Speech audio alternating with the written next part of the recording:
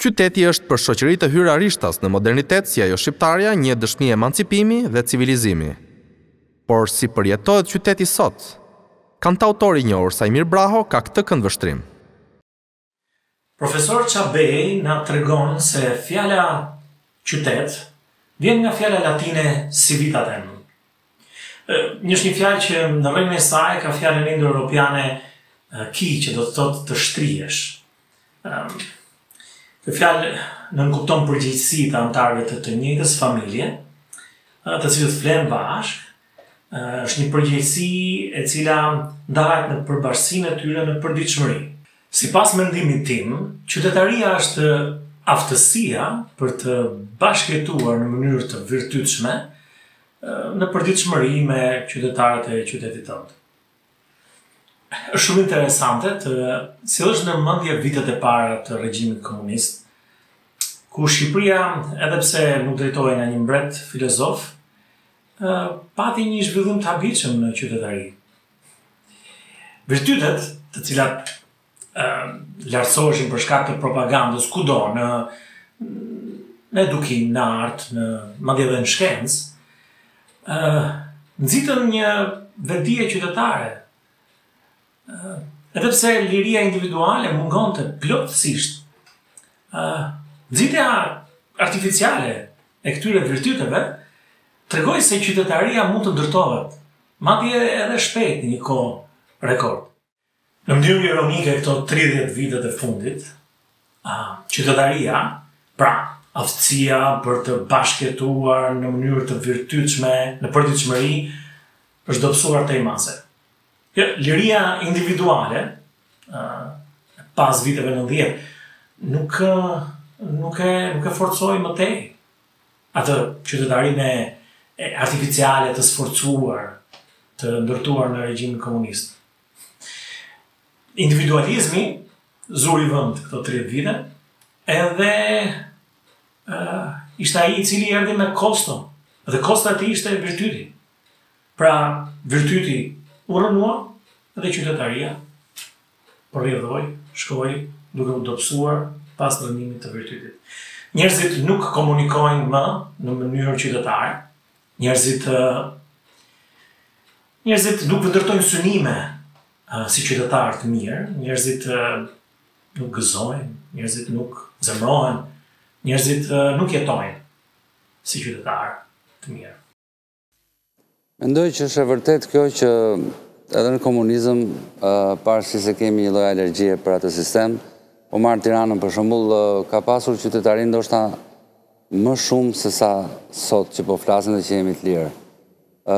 Atëherë i thonim më shpesh mirëmëngjes fqinjit, i thonim më shpesh mirëmbrëma, më shpesh natën e mirë, të gjithë e mbajmë mend që trokisim dhe për të marrë një pak kos në darkë për të zënë kosin. Të gjithë e kujtojmë se si respektonim rregullat qoftë dhe me me sforcon po themi në thonjëza të pushtetit nga lart, ndërsa sot jemi bërë më të egër dhe qytetaria ka humbur për shumë arsye.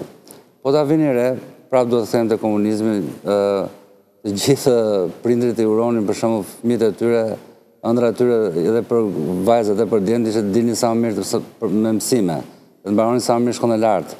Madje për vajzat ka qenë të gjithë prindërit ëndërronin që të merrnin një burrë me shkollë të lartë. Ndërsa sot nuk është kjo.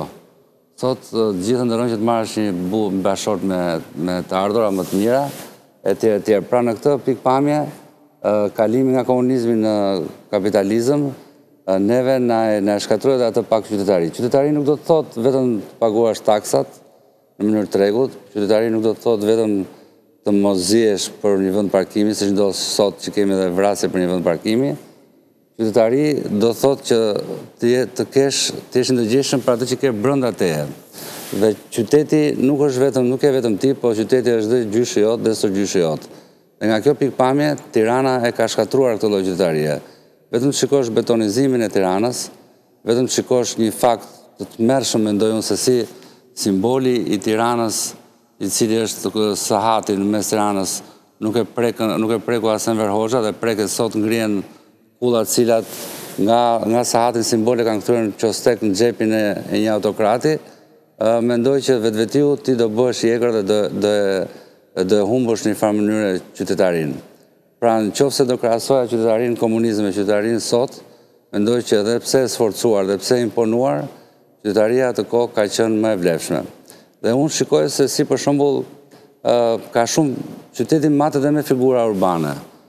Çfarë dua të them me këtë? Matet me jetën artistike, matet me teatrot, matet me kinemat, Matet me intelektualët që mblidhen me njëri tjetrin dhe diskutojnë probleme të ndryshme, ne këto nuk i, nuk i hasim dhe nuk i kemi më.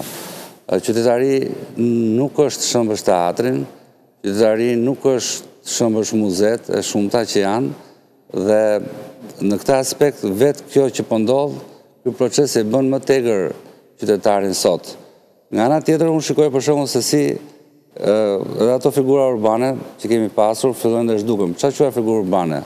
Për shembull, kam qenë shumë i lumtur kur shikoja përkthyesin e madh Robert Shvarc, si një kafe të Tiranës, ulej me orë tëra dhe, dhe përkthente librin në kafenetë e Tiranës dhe njerëzit që vinin, shikonin një figurë që e adhuronin dhe bisedonin dhe flisin dhe iknin dhe e linin që të punonte, Ose edhe një figurë rebele, po gjithashtu e quaj figurë urbane si Teodor Keko, i cili ulej në një cep të një të një lokali dhe shkruante, pra dhe figura të tilla ne nuk kemi më, po rrallohen gjithmonë e më shumë, jetë artistike kemi shumë pak, ë, prandaj them, dhe sidomos me prishjen e Teatrit, ë, qytetaria e Tiranës mori një një një shkelm shumë të madh, Dhe insistoj dhe them që nuk mjafton vetëm të paguash taksa në qytet, dhe të mbledhësh taksa, por janë gjithë këto, mirëmëngjesi i fqinjit, jeta kulturore, artistike, debatet, shkëmbimet etj.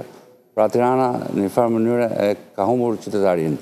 Dhe në një qytet pa identitet vështirë se mund të të jetojnë dhe të dhe të dhe të mbillet fara e identitetit te vetë qytetarët.